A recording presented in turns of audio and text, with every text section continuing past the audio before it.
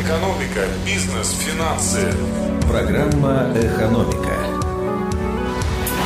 студии Ольга Болезина. Здравствуйте. Походы в магазин в Кировской области одни из самых дешевых. Рейтинг составил исследовательский холдинг «Рамира». Максимальный чек 634 рубля в Северо-Западном федеральном округе. В Приволжском 438 рублей. За год с июля 2016 года цифра даже уменьшилась на 4%. Меньше только в Сибирском округе 407 рублей.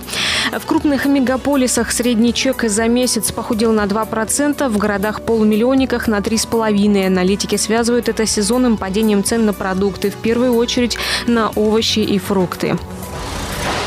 Программа «Экономика». Быстрее всего зарплаты растут в области информации и связи. Такие данные приводит Кировстат. За год зарплаты в этой сфере выросли на 10%, средний темп просто 5% за год. Сейчас средняя зарплата в Кировской области чуть более 24 тысяч рублей.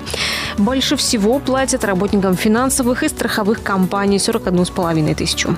Экономика на 101 FM. Кировский филиал «Алмаз Антея» загружен на 10-15%. Об этом рассказал в интервью изданию «Навигатор» гендиректор предприятия Эдуард Носков. По его словам, на отдельных участках производства загрузка довольно высокая. Интенсивно использоваться мощности будут, по его расчетам, к 2019 году. Параллельно ведется набор сотрудников. Сейчас численность их приближается к 900.